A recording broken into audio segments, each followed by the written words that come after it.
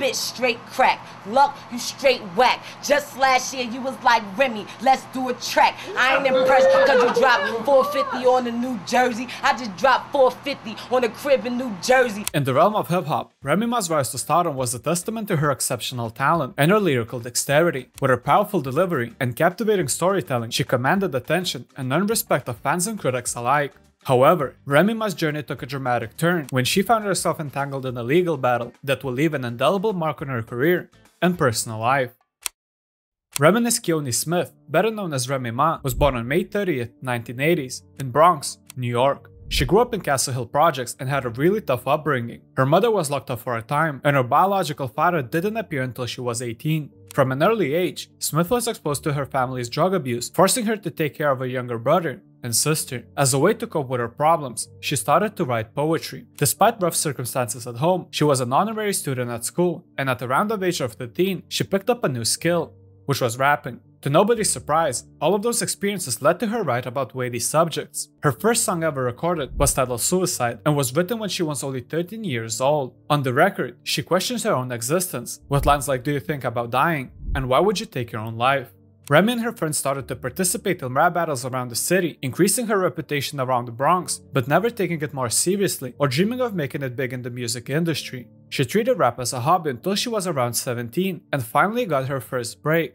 As the legend goes, one day she bumped into one of Big Pun's friends outside of a Bronx grocery store. Knowing that she was an inspiring rapper, he invited her to Pun's place, who was living just around the corner. Rightfully so, she was hesitant and decided to take her mom with her. Once she got to his house, they found him on a mattress, wearing nothing but a pair of boxer shorts and getting a massage. Hey, I hear you could rap.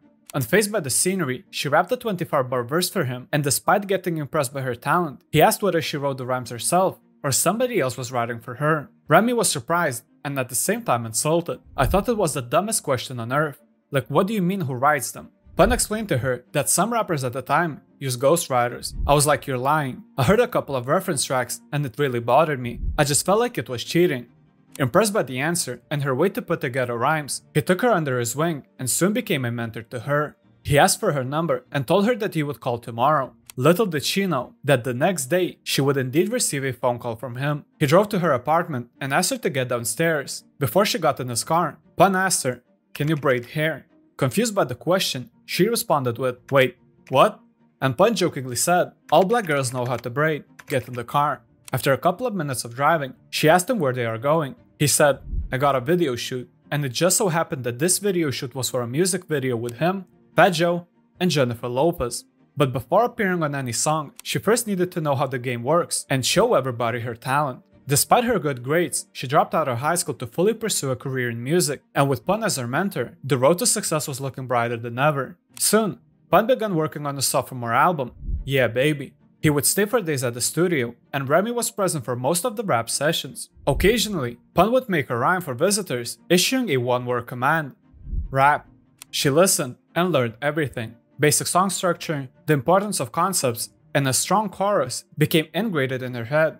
According to producer LV, if you're smart, you soak up all that knowledge, and Remy did that every single day. By the time she got on the record, she knew exactly what to do. Pun's idea was to showcase her to the world with the same feeling that he had when he sat in his underwear and heard Remy rap for the first time. Unfortunately, he never got to see how big his prodigy would become because just two months before the album's release, Big Pun passed away on February 7, 2000, due to respiratory failure and a heart attack.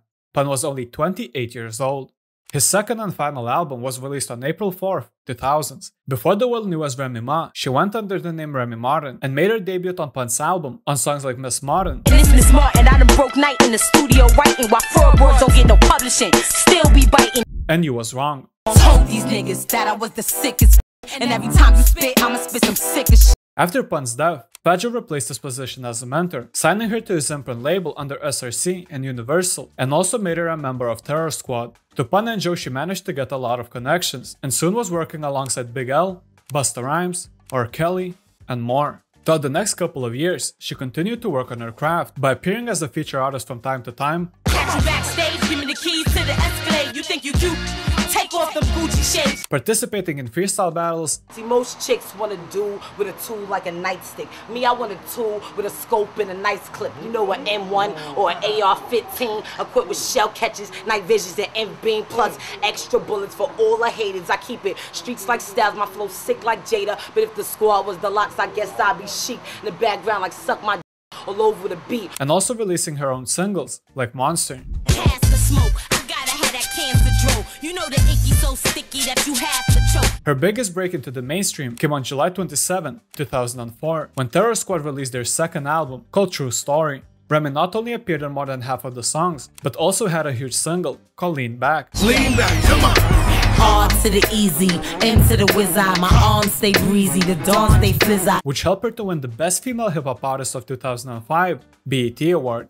Everybody started to point eyes at Remy, and soon SRC Records, which housed Terror Squad, told Fat that they wanted a Remy Ma solo project. While she was more excited than ever, she stayed solid and demanded full creative control. The album was her baby, and she was going to do it the way that she wanted to. After all, the album was titled There's Something About Remy, and so she managed every aspect of the process, from picking beats to brainstorming concepts. She sat with producer Scott Storch in Miami and came up with the idea of Conceited, which will later become one of the singles for the album. She also met with Swizz Beatz to concoct Whatever. Because she primarily wrote in the studio, the lyrics are married to the beat and the concept of each song. After a lot of blood, sweat, and tears, her debut album, There's Something About Remy, based on a true story, was released on February 7, 2006. The album received positive reviews, earning praise for its balance of commercial singles, street bangers, and introspective records. Singles like Whatever,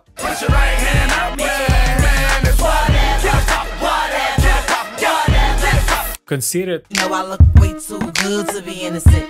I'm conceited, I got a reason. and Feel So Good. Stop acting crazy, I'ma keep it real. See, I just need someone that gives me something I can feel. became a major success for Remy Ma. But unfortunately, when success was within a hand's reach, things once again turned sour.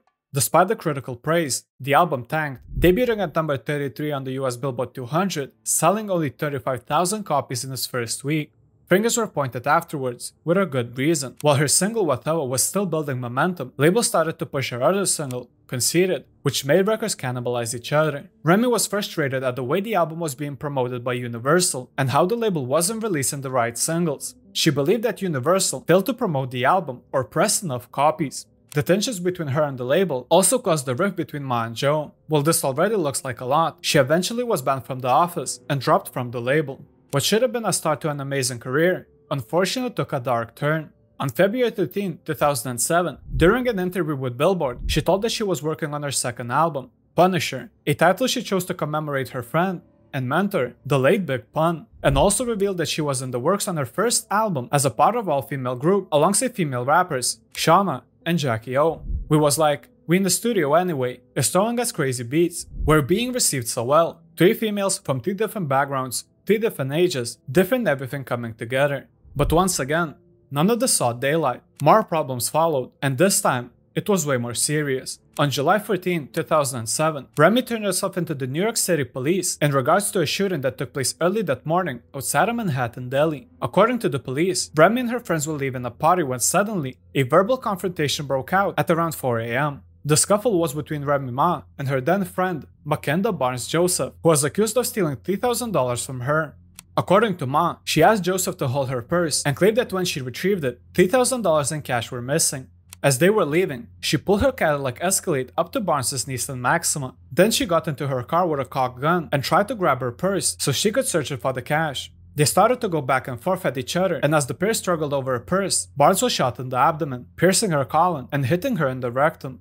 Smith drove away, abandoning her $70,000 Cadillac nearby, and got into a taxi. It didn't take long before the cops identified Smith as a shooter, and the warrant was issued. Smith was charged with assault, criminal possession of a weapon, and attempted murder charges. When it came to the trial, Ma claimed that the gun went off on accident and she didn't mean to fire at her. Her attorney called a ballistics expert who testified that Miss Smith had pulled the trigger reflexively during the struggle, adding that police officers are trained to hold their index finger along the barrel of the gun to avoid such accidental shootings during moments of stress. The lawyer also added that she was the victim on that night by saying, I wonder whether it has actually occurred to you that Remy Smith was a victim that night, a victim of someone reaching into her purse and pulling out about $3,000, and also claimed that this is all one big money grab for Miss Barnes.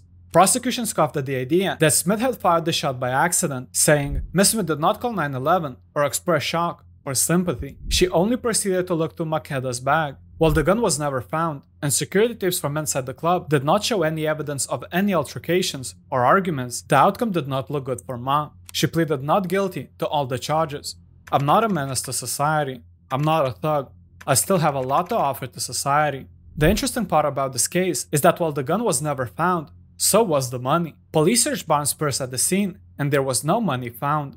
Ma was also later charged with witness tampering and assault after an incident in August 2007 in which she was accused of inciting several male friends to attack a witness's boyfriend at a nightclub. While these charges were later dropped, Remy was eventually found guilty of assault, weapons, and attempted coercion charges. She was immediately taken into custody, with sentencing set to May 13, 2008.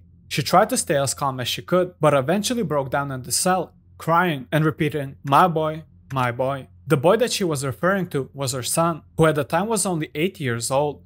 During the sentencing, she began with a statement I'm pleading with you to give me a second chance. I apologize. I apologize, begging for mercy for the sake of my little boy. The victim delivered a letter in which she wrote, I will always be the girl they whisper about. I will always be the girl who got shot by Remy. I don't believe she is really sorry. Even up until last week, Miss Smith was on the radio, still making mockery of this whole situation. Judge Rana Uliver came to a conclusion and ended the court with a following statement. Remy Ma is an extremely angry woman who does not take any responsibility for her actions. She left Miss Barnes seriously wounded in the car, bleeding in the front seat. She does not have any real remorse. Unfazed by Remy's crying, the judge sentenced her to 8 years in prison.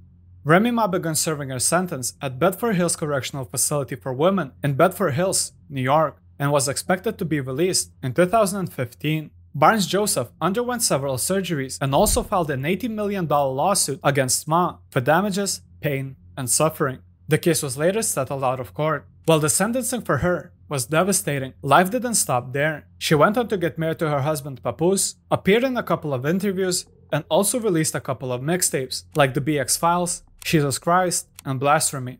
After serving 6 out of 8 years sentence, Ma was released from prison on August 1st, 2014.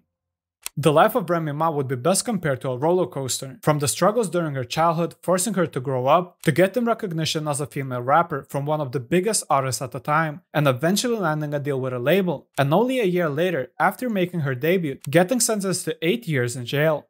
Life is all about decisions, and on that day, Remy Ma made a decision to confront her friend and shoot at her for as little as $3,000. While nobody should play with your money, spending 8 years of your time, one currency that we cannot buy, for as little as $3,000 is not a wise decision.